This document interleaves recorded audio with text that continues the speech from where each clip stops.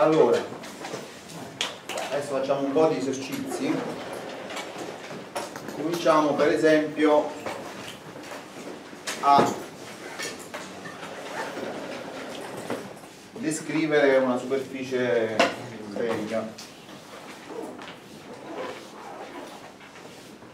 Io ho una superficie sferica di raggio R. Allora è di centro l'origine eh, se la scrivete in uh, equazioni cartesiane è un'equazione soltanto. X quadro più y quadro più z quadro uguale r quadro se invece la volete parametrizzare ah, allora concetto fondamentale ogni equazione vi fa scendere di 1 la dimensione tendenzialmente, poi ci sono le eccezioni per esempio se qua fosse 0 invece che un numero positivo eh, eh, scendiamo a un punto che ha dimensione 0 però se invece è un numero positivo qua scendiamo a una superficie sferica Uh, se invece, eh, quindi questo qua sarà un oggetto di dimensione 2, cioè eh, il sostegno di una porzione di superficie regolare. Se la vogliamo invece parametrizzare dobbiamo usare due parametri. Infatti per, per identificare un punto sulla superficie terrestre per esempio, voi di, di, che cosa avete bisogno? Avete bisogno di due coordinate, la longitudine e la latitudine. Allora se eh, quali sono allora se chiamo quest'angolo qui θ θ beh non è la latitudine perché la latitudine va da, da più 90 a meno, da più pi greco mezzi a meno pi greco mezzi invece θ va da 0 a pi greco eh, però eh, praticamente θ è l'opposto della latitudine più pi greco mezzo. Eh, qual è, eh, come, chi è la coordinata z? z è uguale a ρ per coseno di θ. Che se io ingrandisco qua, cioè il nostro punto, se questo è θ, qualunque sia la posizione, la latitudine, di, la, scusate, la longitudine del punto sulla superficie terrestre, sulla superficie della sfera, l'altezza, cioè la coordinata z, è data da R per il coseno di quest'angolo. Invece come sono fatte y e x? Beh, R sen θ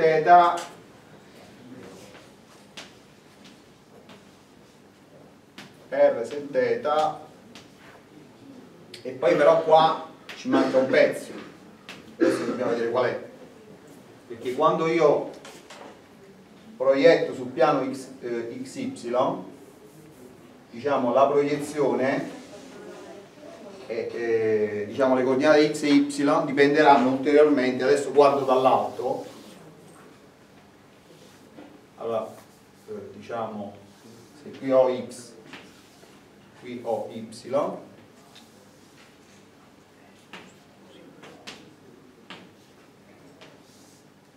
Qui avrò questo è R θ questo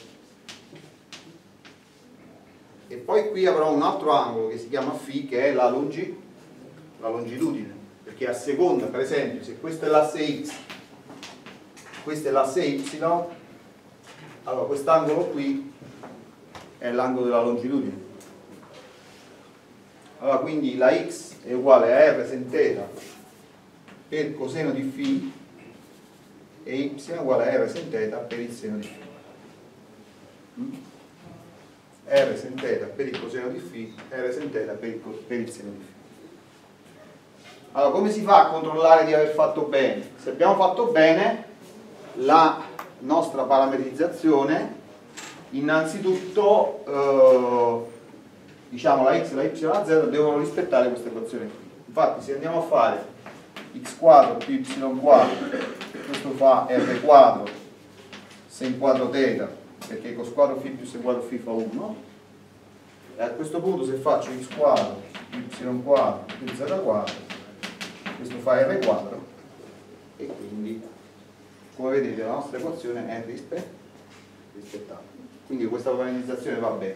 Naturalmente però eh, tra dove variano eh, R è fisso perché stiamo sulla se faccio variare pure R non ottengo una parametrizzazione della superficie sferica ma ottengo una parametrizzazione tridimensionale per esempio se faccio variare che ne so R tra 0 ed R0 allora otterrò una parametrizzazione di, del solido di tutta la sfera invece se faccio, tengo fisso R e faccio variare θ e φ eh, ottengo la parametrizzazione della superficie sferica. Attenzione però, dove variano θ e φ?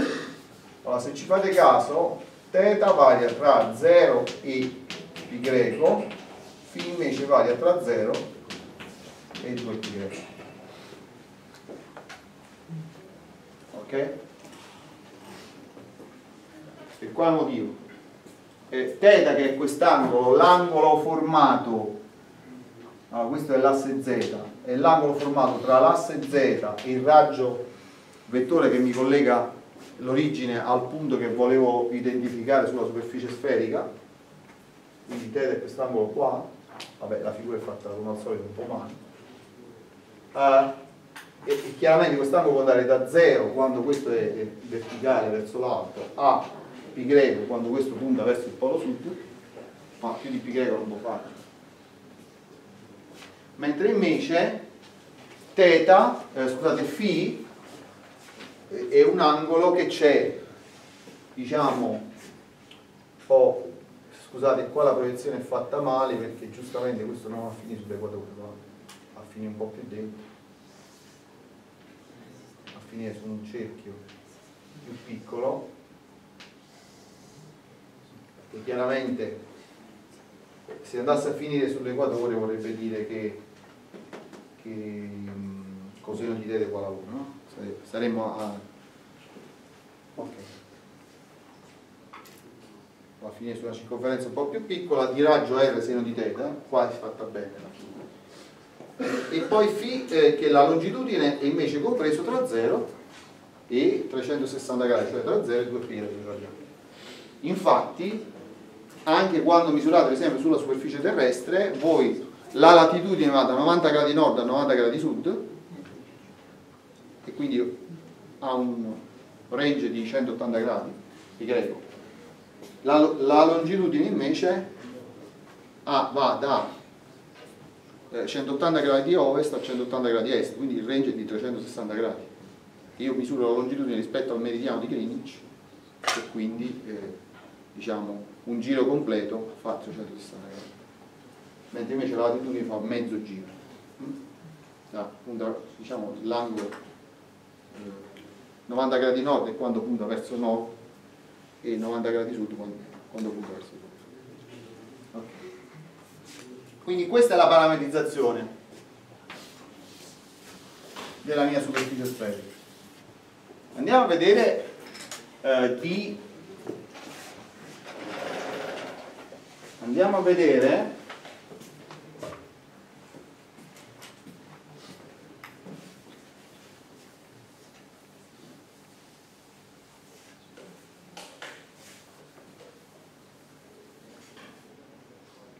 chi è eh, lo jacobiano di Φ?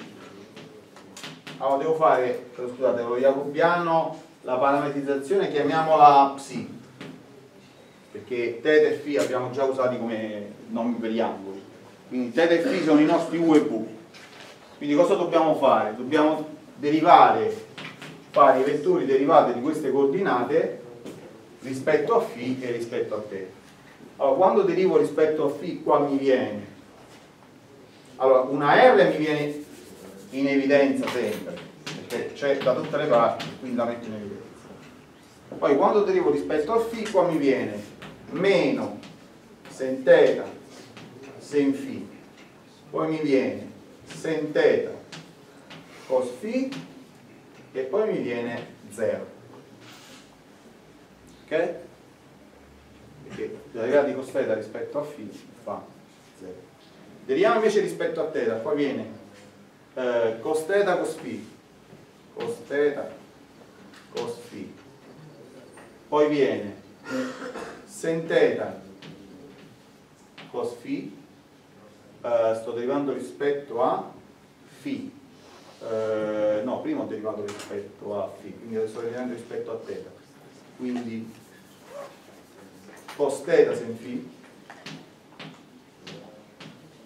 meno sen teta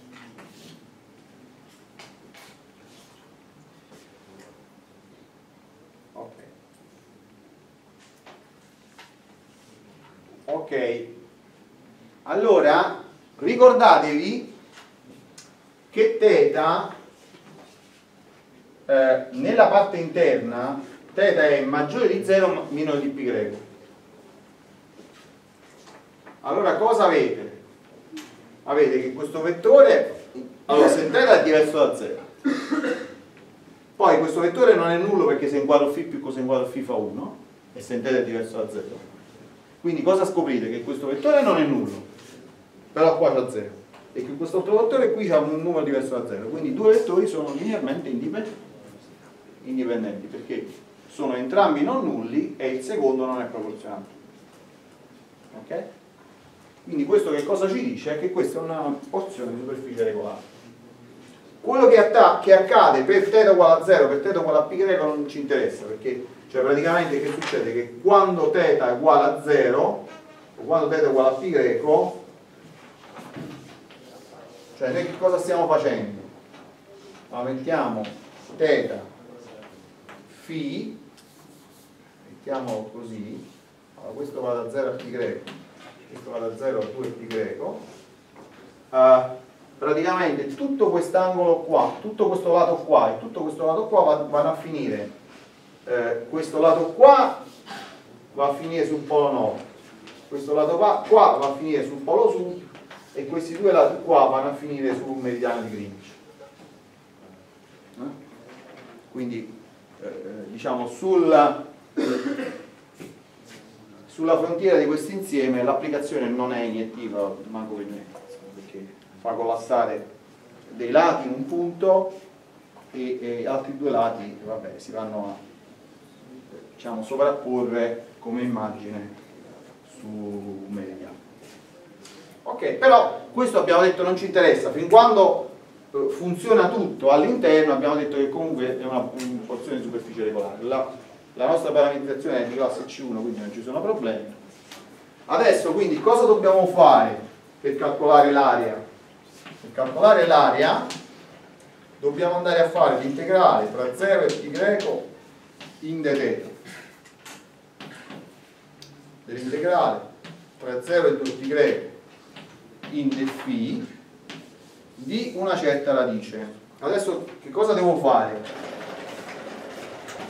Eh, quando vado a scrivere quella che avevo scritto in questo caso psi teta esterno psi phi in norma non è altro che la radice di L quadro più M quadro più N quadro.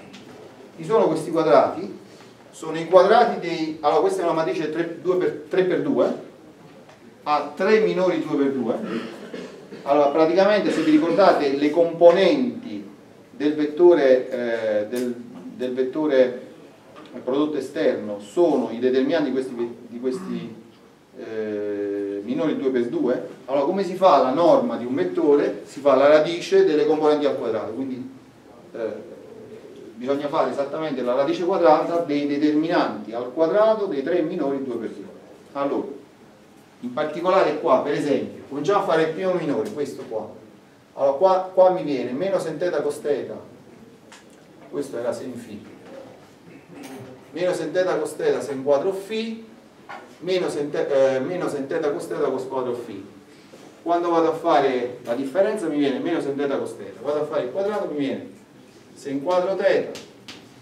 con squadro θ più poi devo fare questo qua viene meno se inquadro θ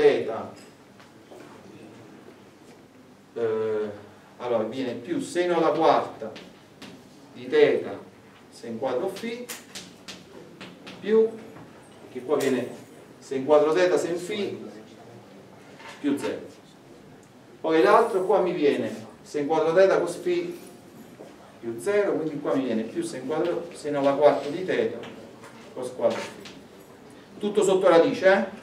quindi alla fine cosa viene?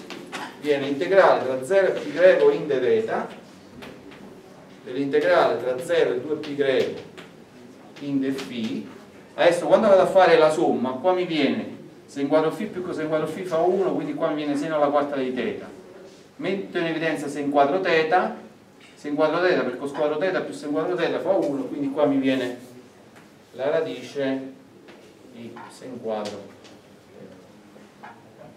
in define teta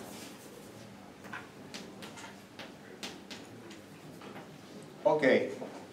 Ora questa quantità fa seno di teta che se vi ricordate tra 0 e π greco il seno di teta è positivo quindi la radice sen quadro teta fa seno di teta quindi seno di teta rispetto a φ è costante, quindi qua mi viene semplicemente 2π greco per l'integrale tra 0 e π greco di seno di teta in de teta, ma l'integrale tra 0 e π greco di seno di teta fa 2 perché la primitiva, una primitiva è meno coseno di teta valutata tra π greco e 0 fa 2 2 per 2π greco fa 4π greco ho 4π greco, cosa avevo dimenticato?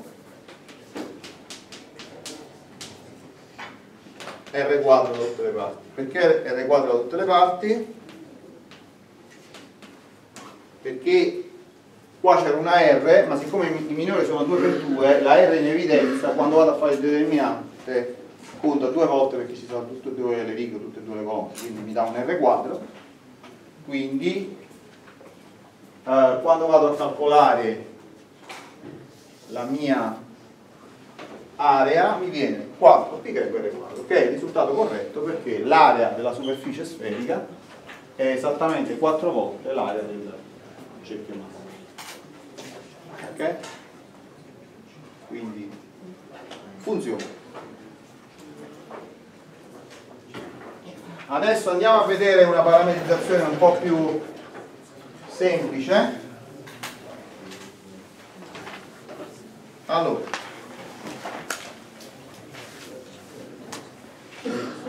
poi ritorniamo su questo discorso della sfera per... allora la sfera l'avevamo calcolato il volume no? il volume qual era? era 4 terzi pi greco r quadro invece l'area della superficie è 4 pi greco r quadro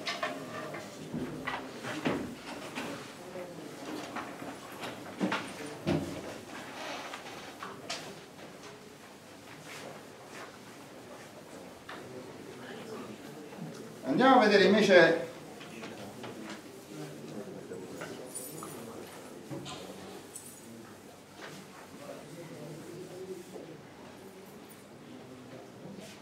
uh, il volume e l'area della superficie di un cono, un cono circolare retto.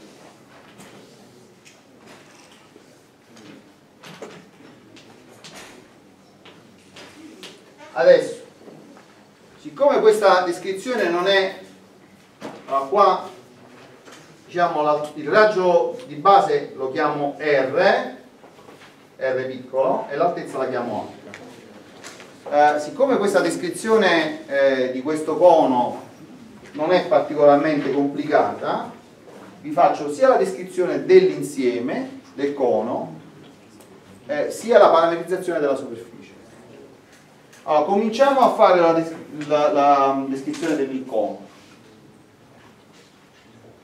Allora, eh, il cono è ottenuto collegando il vertice che è il punto 00H, V è il punto, chiamiamolo V00H, eh, diciamo, sono tutti punti che diciamo, si, eh, il cono è l'unione dei segmenti che si ottengono collegando il vertice a uno dei punti del cerchio che stanno nel cerchio di base. Allora nel cerchio, se io taglio a un livello, eh, come lo vogliamo chiamare,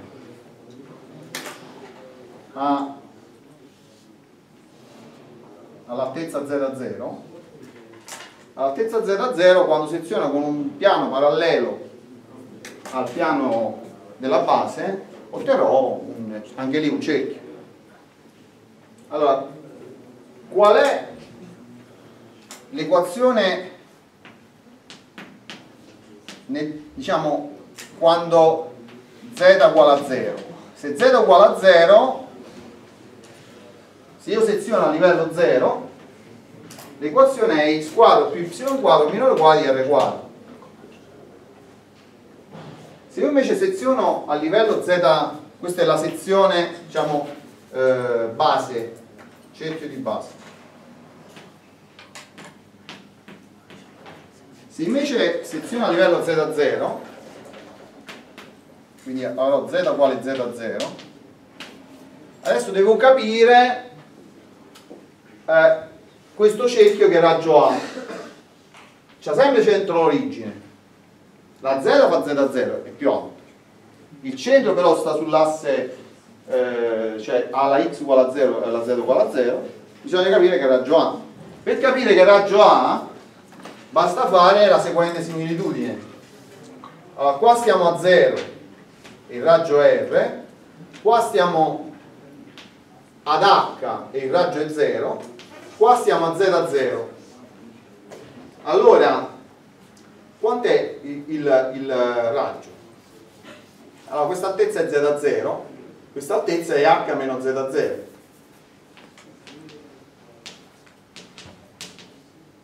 ok?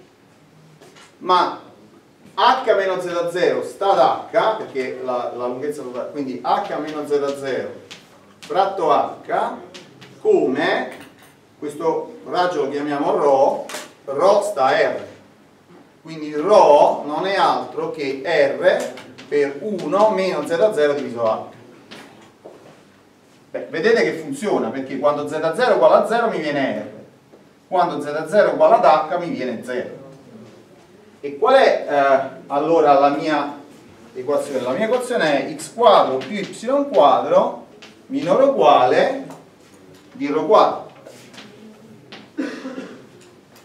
Ma andando a sostituire chi è ρ quadro, io ottengo l'equazione, eh, la disequazione, scusate, x quadro più y quadro minore o uguale di eh, r quadro eh, scusate, minore uguale di r quadro per 1 meno z su h al quadrato. E poi z che varia tra 0 e h.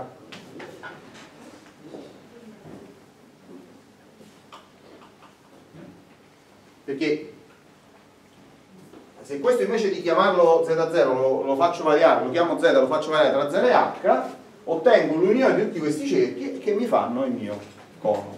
Quindi vedete che come cono, come cono, questo qua è dato da tre disequazioni. Z compreso tra 0 ed A, sono due disequazioni. E la terza equazione mi dice che x quadro più y quadro deve essere compreso tra eh, vabbè, deve essere minore o uguale di ok?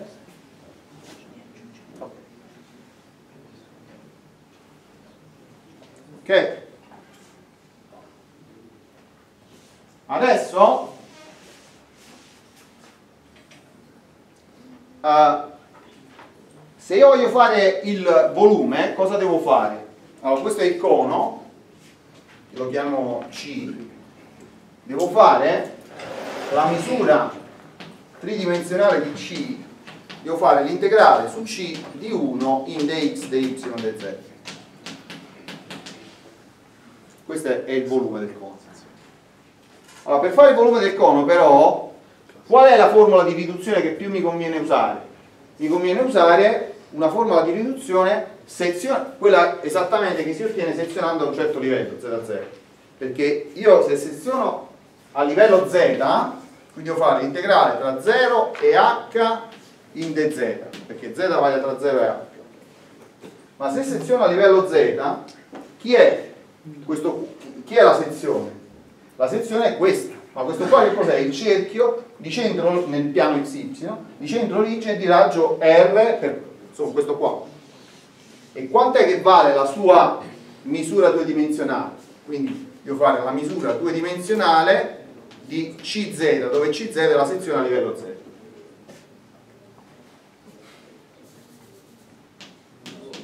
Quindi, questo già l'avevamo fatto questo esercizio, se vi ricordate. Devo fare l'integrale tra 0 ed h di π volte per r quadro per 1 meno z su h al quadrato in dz uguale uguale greco, quadro, pi r quadro adesso z su h lo chiamo t allora quindi avrò l'integrale tra eh, quando z eh, 1 meno z su h lo chiamo t quindi qua mi viene integrale tra 1 e 0 eh, poi dz viene quindi t uguale 1 meno z su h quindi dt chi è? è meno dz su, su a.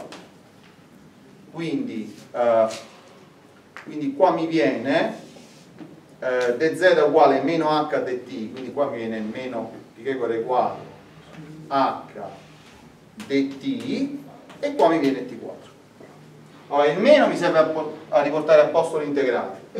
Quindi qua mi viene pi greco r quadro h l'integrale tra 0 e 1 di t quadro fa un terzo. Quindi fa terzo. Quindi come vedete il volume viene esattamente un terzo dell'area di base per l'altezza ok.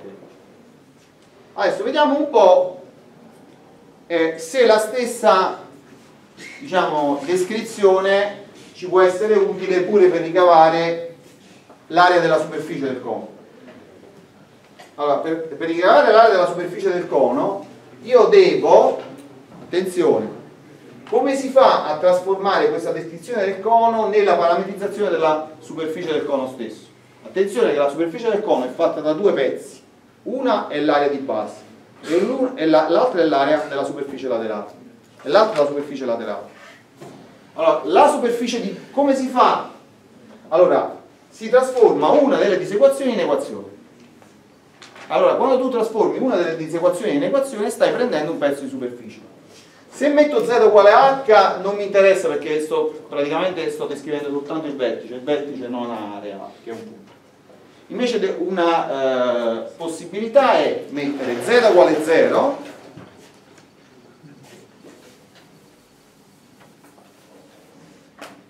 z uguale 0 e poi mettere x quadro più y quadro minore uguale di R quadro. Questa è la superficie di base. Come vedete però non è ancora una parametrizzazione perché eh, le tre coordinate, una eh, ce l'ho che vale 0, le altre due mi vengono date da una disequazione. Allora come si fanno a parametrizzare?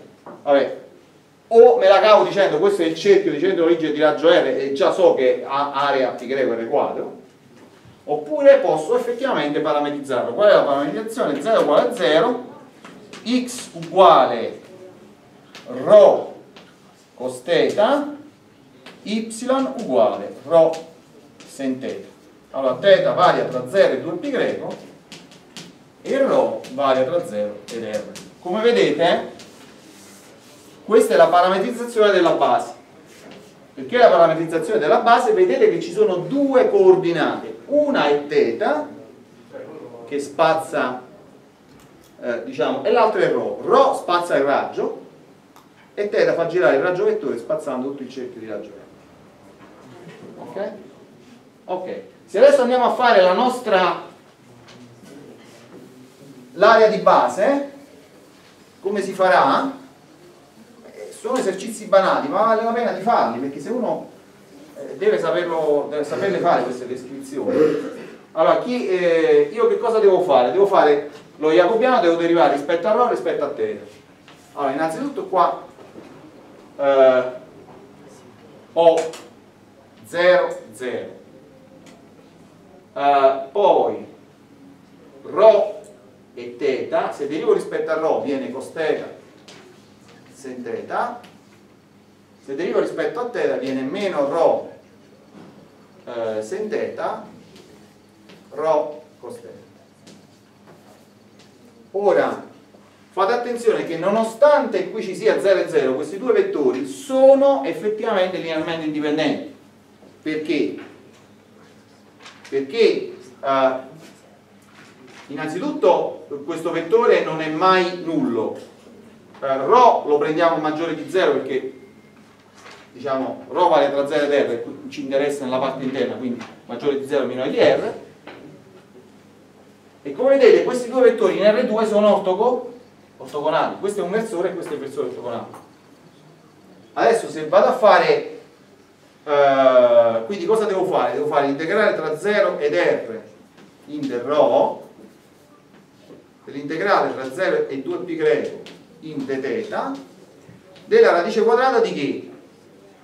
E qua devo fare i tre determinanti, la somma dei tre determinanti al quadrato, però due determinanti fanno 0 perché hanno una riga nulla, l'unico che non fa 0 è questo, rho cos quadro più rho sen quadro, rho cos quadro più rho sen quadro fa rho, quindi devo fare la radice di rho quadro, quindi come vedete qua mi viene rho, quindi mi viene 2π greco per l'integrale tra 0 ed r di rho inter rho, ma integrale tra 0 ed r fa r quadro mezzi, e quindi qua mi viene π greco r quadro che come vedete è esattamente eh, l'area del cerchio di base.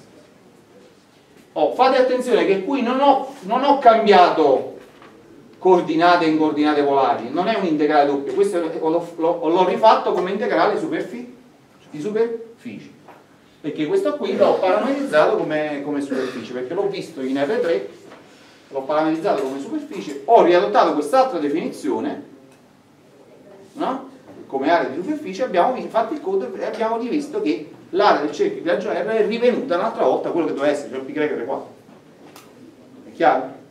Prima l'avevamo calcolata come il cerchio l'avevamo visto come contenuto in R2 e l'avevamo fatto come integrale di volume calcolando la misura due dimensionale, cioè l'area.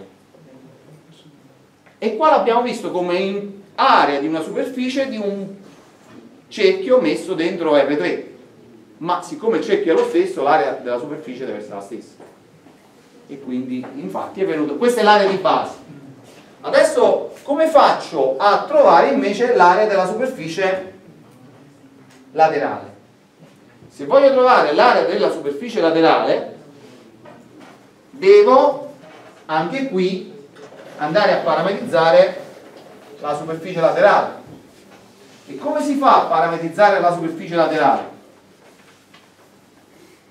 Beh, qui le possibili disuguaglianze che potevano diventare uguaglianze erano tre. Una era z uguale a 0, che è quella che mi ha dato la, la base.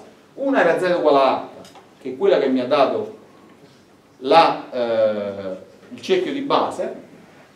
E l'altra è questa, che può diventare un'uguaglianza. Quindi qua mi viene x quadro più y quadro uguale r quadro per 1 meno z su h al quadrato e poi z invece continua a essere compreso tra 0 e A.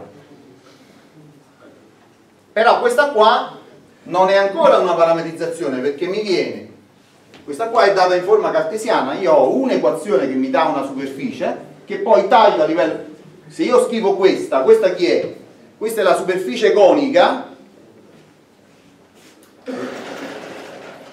è una specie di doppio cono indefinito che passa per questo vertice qua no? se io non, mettessi tra 0 ed h otterrei una superficie conica illimitata tagliando a livello 0 a livello h ottengo la superficie del mio cono ok?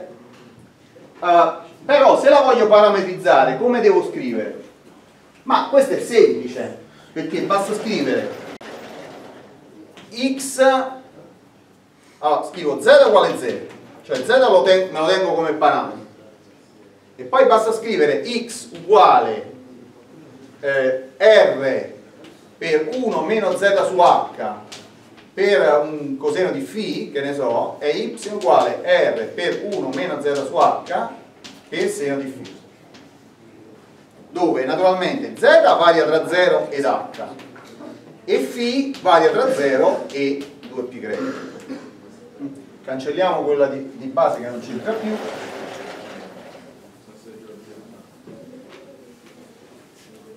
quindi stavolta come vedete a parte R ed H che sono delle costanti due, i miei due parametri di parametrizzazione sono φ che varia tra 0 e 2π e invece z che varia tra 0 e chiaro? cioè a seconda del livello z questa che cos'è? questa è una parametrizzazione di una circonferenza, circonferenza. infatti la sezione, mentre la sezione del cono era un cerchio la sezione della superficie laterale è una circonferenza che ha esattamente questo raggio allora Z mi dice il raggio della circonferenza perché tramite questo R per 1 meno Z su H e Φ mi gira attorno a tutta la circonferenza quando Φ vale tra Z e 2 π greco io descrivo tutta la circonferenza allora eh, cosa devo fare? Come al solito devo andare a fare lo jacobiano di psi questa è la mia parametrizzazione chiamo psi cioè devo derivare queste quantità sia rispetto a z sia rispetto a φ allora se derivo rispetto a z uh, mi fa meno 1 su h cos φ e derivo a z meno, meno r su h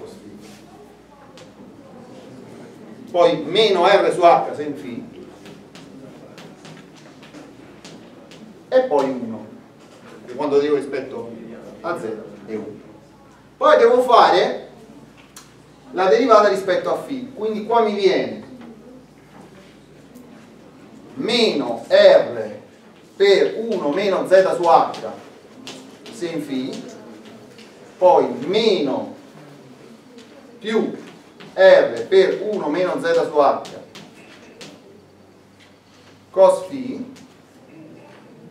e poi 0 ah, questo era 1 e questo è 0 queste sono le, eh, lo jacobiano ora vedete che quando z è strettamente compreso tra 0 e h questo numero è diverso da 0 r è diverso da 0 se in φ cos φ eh, è un versore quindi questo vettore non è nullo. Questo vettore non è nullo ma qua c'è 0 questo vettore qua c'è 1 quindi i due vettori sono indipendenti. Quindi effettivamente questa è una porzione di superficie del adesso che devo fare per calcolare l'area della superficie laterale cancelliamo e andiamo a calcolare l'area della superficie laterale.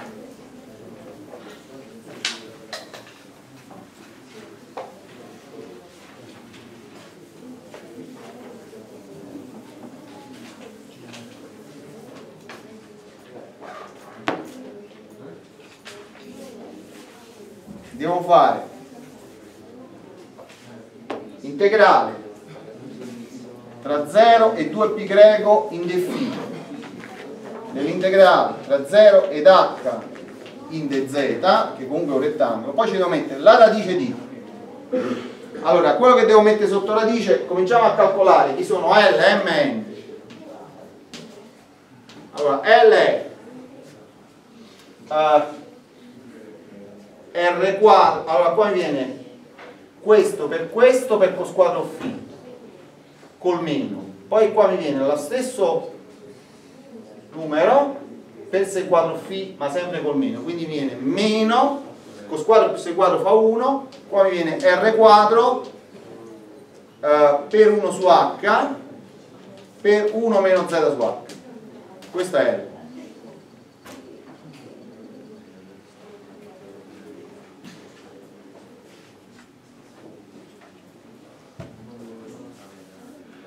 Poi M facciamo il minore con la prima e con la terza riga. Qua mi viene 0 e allora mi viene più questo qui quindi mi viene R per 1 meno Z su H per seno di φ e qua mi viene 0 meno R N viene meno R 1 meno Z su H cos φ adesso andiamo a vedere chi è qua sotto scriviamo quanto fa L quadro più M quadro più N quadro allora il primo fa R alla quarta fratto H quadro per 1 meno Z su H al quadrato. Il secondo fa più R quadro per 1 meno z su h al quadrato per se quadro φ e il terzo fa la stessa cosa per cos quadro φ li metto insieme e fanno se quadro φ più cos quadro φ fa 1 e mi viene questa roba quindi qua cosa mi viene? mi viene posso mettere in evidenza 1 meno z su h al quadrato e qua mi viene, posso mettere in evidenza anche un r quadro e poi mi rimane r quadro su h quadro più 1 quindi qui quando vado a fare la radice di L quadro più M quadro più N quadro mi viene R per 1 meno Z su H per la radice di 1 più R quadro su H quadro in dz in the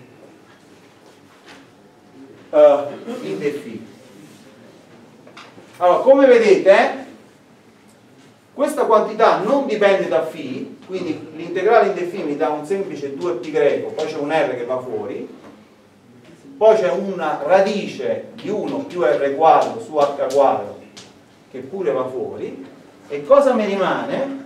mi rimane l'integrale tra 0 ed h di 1 meno z su h in dz ok. È chiaro no? qui mi viene. Questo e questo non dipendono da niente. Quindi quando li metto sotto radice escono fuori una R e questo. Poi ci sta l'integrale tra 0 e 2 π che fa 2 π e poi ci rimane da farsi l'integrale qua ora questo integrale qua è il solito eh, scriviamolo qua è 2 π r radice di 1 più r quadro su h quadro. Allora come al solito pongo z su 1 meno z su h. Lo chiamo t eh, lo scrivo qua sotto t uguale 1 meno z su h allora quando uh, z varia tra 0 ed h questo diventa l'integrale tra 1 e 0 uh, dz uguale a meno h dt quindi qua ci viene un meno davanti a tutto. E qua ci viene t dt e c'è un h però. Allora l'integrale meno riporta l'integrale a posto l'integrale tra 0 e 1 di t fa t quadro mezzi tra 1 e 0 fa un mezzo quindi qua mi viene pi greco r poi l'ultima cosa che mi rimane da fare è di portare l'h sotto il segno sotto la radice quindi qua mi viene radice di h quadro più r quadro eh? questa è l'area della superficie laterale se vi ricordate questa l'avete fatto se la vostra maestra era brava l'avete fatta alla scuola elementare l'area della superficie laterale del cono è data dal perimetro di base cioè 2πr questa è la metà semiperimetro di base per l'apotema perimetro di base per l'apotema di sopra L'apotema è la lunghezza di questa diagonale, diciamo di questo cateto qua, dove questo è R, questo è H, e quindi questo qua è esattamente lungo radice di H quadro più R quadro. Quindi vedete che funziona. Ok? Abbiamo, come dire, riscoperto un modo apparentemente più complicato, però alla fine dai, i risultati che dà sono giusti. Poi non è così complicato eh, perché? Perché è vero che eh, è più complicato del... Ho riacceso, sì? No. Ah. È vero che, che, è un po' più complicato diciamo, di quello che facevamo alle elementari, ma eh, noi abbiamo la piena descrizione del solido, quindi possiamo descrivere il solido, parametrizzare la superficie, parametrizzare la superficie di base, parametrizzare la superficie laterale, cioè è un metodo completo. Anzi, vedremo adesso eh, diciamo dopo la pausa, adesso facciamo pausa una decina di minuti, poi dopo la pausa vediamo anche eh, i teoremi di Guldino che collegano eh, alcune, eh, diciamo, i volumi e le superfici dei solidi di rotazione. Questi due solidi erano solidi di rotazione. ok? Poi facciamo delle osservazioni su eh, quelli che sono i cilindri, quelli che sono i, coli, i solidi di rotazione, e come si fanno a riconoscere in R3. Quando dico cilindro è, una, è un qualcosa che non dipende da una coordinata, quindi non c'è solo il cilindro circolare retto, ci stanno per esempio i cilindri con una sezione insieme ai qualunque. E poi ci sono i solidi di rotazione, come si fanno a riconoscere i solidi di rotazione e, e poi vediamo cosa dicono i terreni di cultivo, che collegano l'area e il volume del solido di rotazione al, diciamo, alle, lunghe, diciamo, alle coordinate di certi baricentri e poi, poi via. È abbastanza facile.